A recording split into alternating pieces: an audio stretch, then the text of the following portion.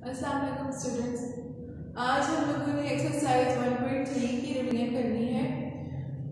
अच्छा इसके अंदर हमारे दो चैप्टर्स कंप्लीट हो गए हैं और मैं पीछे से रिवीजन करवा रही हूँ ताकि आपकी जो जो चीज़ें आपकी कॉन्सेप्ट अगर कोई है जो आपको समझ में नहीं आ रही तो वो अच्छी तरह से क्लियर हो जाए। नंबर वन आपके पास आ रही है वन में हमने क्या पढ़े थे? Form of sets form of sets types of sets ठीक है?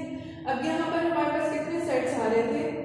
हमारे पास है empty set finite set infinite set equivalent set equal set subset superset है, ठीक है? और प्रॉपर सबसेट है ठीक है एक सुपर सेट भी है और प्रॉपर सबसेट भी है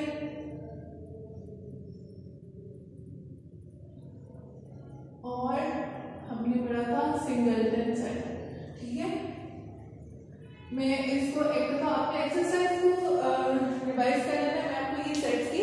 थोड़ा थोड़ा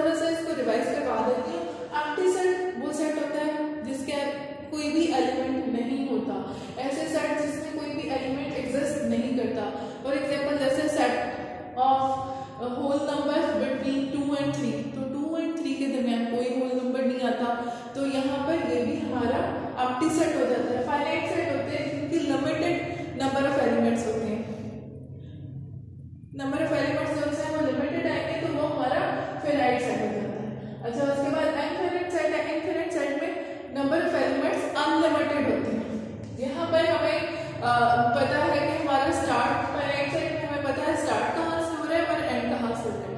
हमें पता है whole number first time whole number तो ज़ीरो उसका स्टार्ट है स्मॉलेस्ट नंबर है और टेन उसका लार्जेस्ट एलिमेंट है। ठीक है तो यहाँ पे हमें स्टार्ट भी पता है एंड भी पता है। इनफाइनाइट है इनफाइनाइट में आ जाता है सेट ऑफ़ नेचुरल नंबर तो नेचुरल नंबर के अंदर हमें स्टार्ट तो पता है कि वन से स्टार्ट हो रहे हैं, लेकिन हमें एंड नहीं पता कि वो खत्म कहाँ पर हो रहे हैं। हो हैं जो अनलिमिटेड होती है, उसको हम इनफिनाइट कहते हैं। ठीक है, उसके बाद इक्वलेंट सेट इक्वलेंट सेट में मैंने आपको इसकी डेफिनेशन करवाई थी कि वन टू वन कॉरेस्पॉन्डेंस जो है, वो एग्जिस्ट करती है। तो वहाँ पर वो सेट हमारे इक्वलेंट होते हैं। मतलब कोई से भी दो सेट ये दो सेट का कंपैरिजन होता है, जिसमें हमने ये बताना होता है कि ये दोनों सेट कम इक्वलेंट है या नहीं। और उसके अंदर क्या होता है एलिमेंट्स नंबर ऑफ़ एलिमेंट्स दोनों सेट के सेम होने चाहिए।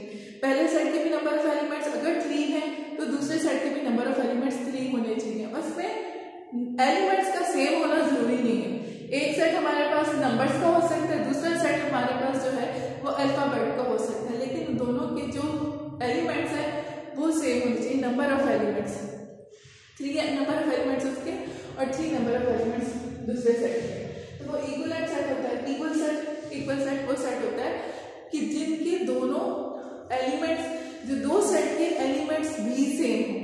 उनके ऑर्डर चेंज हो सकते हैं, लेकिन उनके एलिमेंट्स दोनों के सेम हो तो वो हमारे पास जो है वो इक्वल सेट में आ जाता है सबसेट सबसेट मैंने आपको बताया कि अब हर सेट अपना सबसेट होता है। एक तो ये चीज़ आपके माइंड में होनी चाहिए कि हर सेट अपना सबसेट होता है। कोई भी अगर हम सेट लेते हैं, जैसे सेट ए लेते हैं वन टू थ्री तो सेट ए जो है, वो ए का सबसेट भी होता है। ये चीज़ वन टू थ्री उसके भी दूसरे सेट उसी सेट के जो एलिमेंट्स है वो अपने सबसेट भी होते हैं। ठीक है? उसके बाद नेक्स्ट आ जाता है सुपर सेट सुपर सेट में हमारे पास दो सेट्स होते हैं। अच्छा सबसेट का मैं एक चीज़ और बता दूँ कि अगर हमारे पास दो सेट्स आ रहे होते हैं, एक ए सेट आ रहा होता है, दूसरा बी सेट आ रहा होता है ए सेट के एलिमेंट्स वन टू थ्री हैं बी सेट के एलिमेंट वन टू हैं। तो यहाँ पर हम B is subset of A B subset भी हो सकता है और अगर बी के अंदर भी एलिमेंट्स वन टू थ्री हैं तो तब भी ए बी का सबसेट होगा बी ए का सबसेट होगा। ठीक है, यहाँ पर सेम एलिमेंट्स आ रहे हैं तो उनको हम कह देते हैं बस सबसेट है।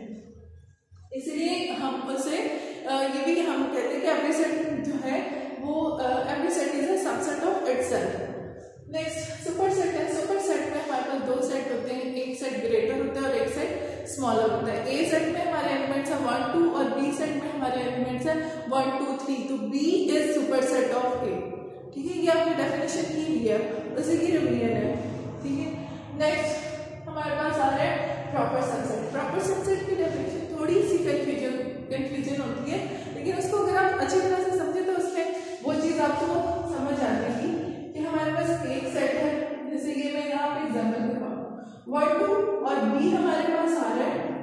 वन टू थ्री तो ए को हम कह सकते हैं proper subset of B small set greater set का यहाँ पर सबसेट होता है। इसी तरह से अगर हमारे पास सी सेट आ जाता है वन एंड थ्री तो C as a sub proper subset of B greater ये तो सुपर सेट है ना इन दोनों सेट का सुपर सेट है, वो दोनों इसके सबसेट हो जाएँगे।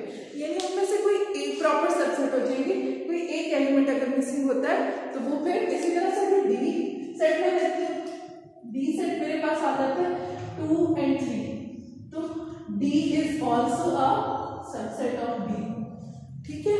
ये चीज़ समझ आ रही है, इस तरीके से। ठीक है? उसके बाद सिंगलटन सेट सिंगलटन सेट होता है जिसमें एक ही एलिमेंट होता है तो उसको हम सिंगलटन सेट कहते हैं। ठीक? ओके अल्लाह हाफिज़।